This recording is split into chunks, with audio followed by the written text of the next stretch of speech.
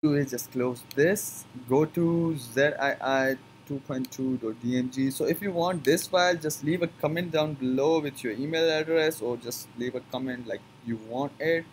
And I will like send you this to your email or I will give you the download link. So guys just double click on it. And it's saying uh, the application whatever. So it's giving me a warning to click on open anyways. So as you can see now it's saying enter please enter if you agree or close this window. So just click on enter. And now it's saying please wait. Enter your password like your password for your Mac.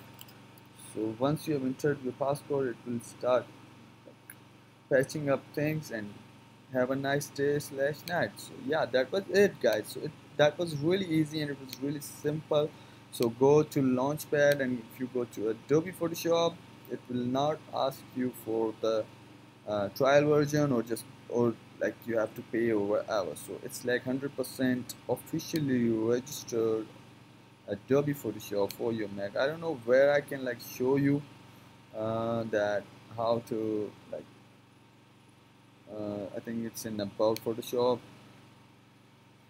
so yeah as you can see right over here. So thanks for watching guys. Stay tuned for more and also like this video. Bye